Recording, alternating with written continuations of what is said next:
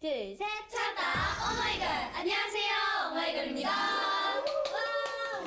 내 맘이 하루 종일 한동안 싱숭생숭하더니 이러려고 그랬던가 너의 쪽에 웅크렸던 감정 MC가 없어요. MC? 사실 알고 있었어요. 제가 많이 보거든요. MC는 항상 그 자리에서 뽑죠. 노래 제목이 윈디데이잖아요. 네. 거기에 맞게 부채로 MC를 한번 뽑아볼게요. 네. MC 다 같이 한번 표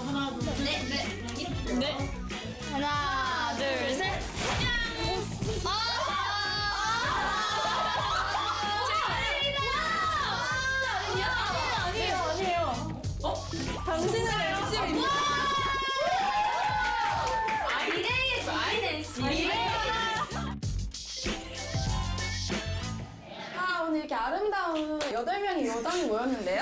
자, 싱그러운 바람의 요정으로 돌아온 소녀들. 네. 오마이걸의 Windy Day로 다시 찾아왔습니다. 어, 이렇게 제가 뭐 반응으로 유관적과 노골적이에요. 마치 지문이 보이는 것 같아요. 호응 유도. 호응유도. 자, 그러면 본격적으로. 네. 자, 본격적으로 들어갑니다. 이제. 네, 네. 본격적으로 오마이걸의 신곡 Windy Day를 자세하게 알아보는 시간입니다. 네. Windy Day는 어떤 곡인지 소개해 주실 분? 저희 Windy Day는 이렇게 사랑이라는 감정이 있잖아요. 네. 그 감정을 바람 부는 날에 이렇게 표현을 한 곡이에요. 그리고 후렴구가 인도풍 사운드가 너무 독특하고 매력적인 곡입니다. 자, 그러면 한 소절만 보여주세요. 네, 아, 그럴까요? 셋. Windy day! Windy day!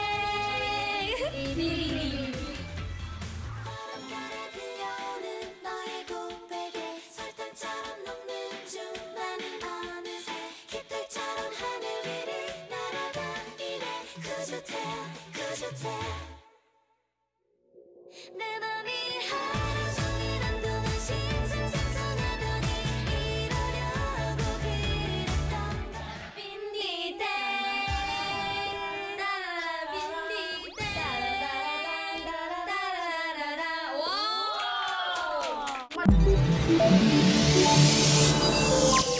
KBS